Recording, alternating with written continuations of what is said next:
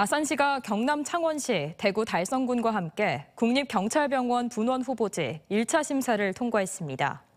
충남도는 경찰청의 경찰병원 분원 부지평가위원회에서 아산시 초사동 경찰타운이 전국 20여 개 후보지 가운데 세 곳을 뽑는 1차 심사를 통과해 이달 말 진행되는 2차 평가에 도전하게 됐다고 밝혔습니다.